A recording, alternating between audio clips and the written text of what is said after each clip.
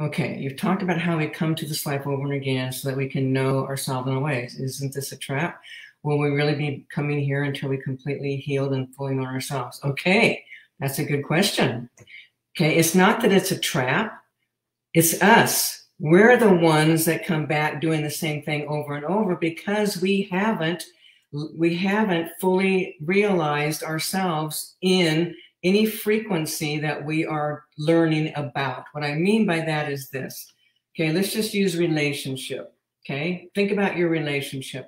What kinds of relationships have you been having? Okay, so you come in, you've got carryover from abandonment, rejection, betrayal, whatever. Here's here's how we keep doing the lifetime the same over and over. Okay, past life, oh, let's just use this lifetime. I know every single one of you have had an experience of heartache, heartbreak. Okay. I know all of you probably have had experiences of excruciating pain, physical pain. So when you're in those experiences, let's just use relationship because most people can relate to that.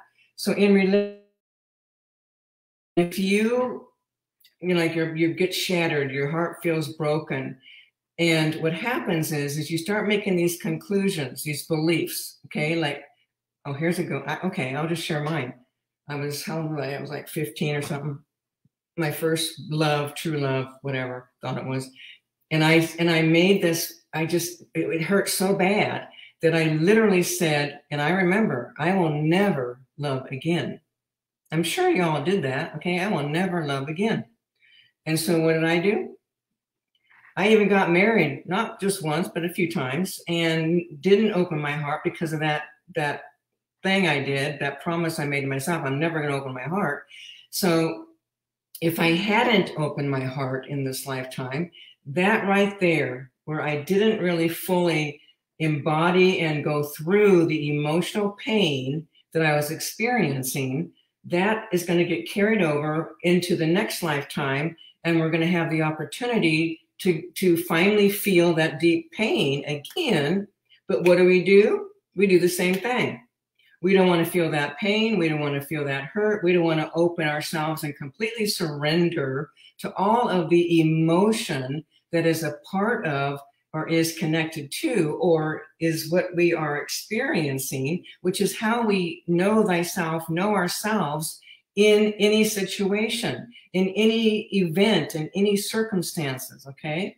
It's about knowing thyself. This is what, when we get tripped up, and so we're the ones who make these decisions, we draw conclusions, we have misperceptions, and then we co create again the same kinds of experiences because we're trying to unravel and we're trying to know what's still now deep in our subconscious, what gets carried over in our soul imprint. And we're trying to unravel it and know it so we can be done with it. This is why we have so many lifetimes. It's not a trap at all, Anna. It's not a trap, okay? We're the ones doing it. We're the ones who aren't willing to surrender to know ourselves in any situation, in any experience that we've ever had, okay? The soul's journey, okay, let me back up. The soul's journey is to go back into the oneness. And it's not, you know, it's not what people think. There's not not a heaven, not a hell. It's not any of that. The oneness is just an, it's all the totality of everything. When we are in that, there is no sense of self. Okay, so that's where we came from. That's where we're going back. But as a soul evolving, we are having experiences, and we're we want to know ourselves in every way, always. That means we do horrible things. We do heinous crimes. We do great, wonderful things. You know, we're, we're doing all of it. But the problem is, and how we get stuck and we keep doing over and over and over the same old, same old, is we aren't allowing ourselves to fully know and embrace our experiences all the way. Okay? All right. You want to know more? Join me and know thyself.